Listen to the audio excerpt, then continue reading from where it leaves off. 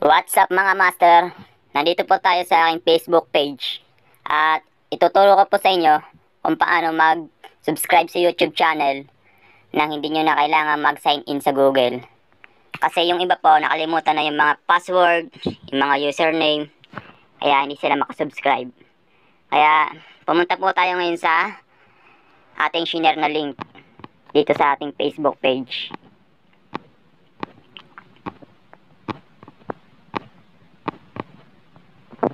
Yan. Click nyo lang po itong link.